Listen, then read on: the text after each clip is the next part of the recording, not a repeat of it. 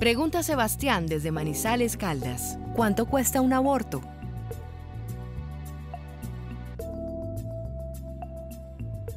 Muchas veces nos pasa que cuando las mujeres asisten por primera vez a nuestra institución piensan que el procedimiento es costosísimo.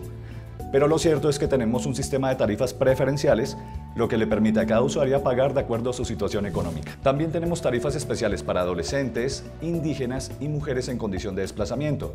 La idea es que cada mujer pueda adquirir el servicio sin importar su situación. En varios casos las mujeres no pagan nada, ya que tenemos convenios con varias EPS, quienes son las que asumen el costo de la atención. En todo caso, llámanos y consulta alguna de nuestras asesoras, porque otra cosa que influye en la tarifa es el tiempo de embarazo.